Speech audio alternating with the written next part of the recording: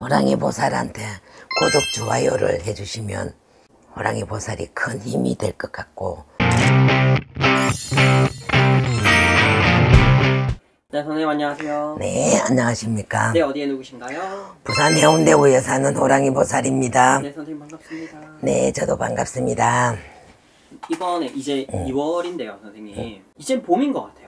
그런 저 입춘이잖아요. 그래 저 입춘도 있고 봄이라고 말은 해놨지만 좀 춥긴 추운데요. 그렇지. 아, 그리고 2월 5일, 양력으로 2월 5일이 정월 대보름이잖아요. 그렇지. 대물대보름. 이때 뭐 하는 뭐 여러 가지들 이런 거 이야기 좀 해주세요. 행사들. 삼재. 액매기 못한 사람 액매기.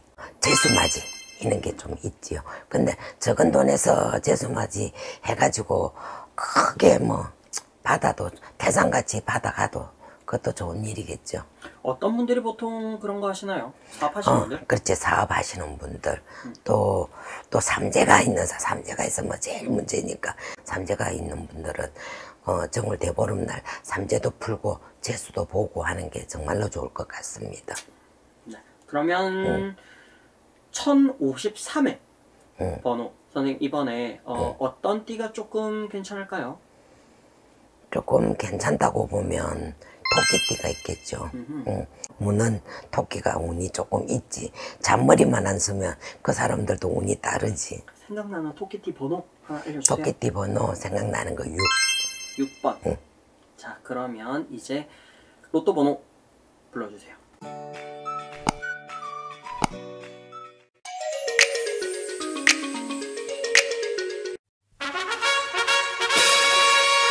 오, 7, 10, 12, 15, 26, 29, 39. 어, 29, 39가 이렇게 달아서 39가 마지막인 것 같습니다. 일단 뭐 아까 말씀드린 것처럼 여기 삼재 지금 사업을 하시는 분들 특히 원숭이띠 이렇게 세 박자가 지금 맞으시는 분들 같은 경우에는 어, 작은 정성으로 큰 재수를 볼 수 있다고 하니 여기 위에 있는 전화번호로 호랑이 선생님께 연락 주시고 상담 한번 받아보시고요. 네, 호랑이 보살한테 구독, 좋아요를 해주시면 호랑이 보살이 큰 힘이 될 것 같고 또 로또 번호가 궁금하시고 사주가 궁금하시면 위에 전화번호에 연락 주시면 상세하게 알려드리겠습니다. 네, 감사합니다. 네 선생님 감사합니다. 네, 저도 감사합니다. 네. 네.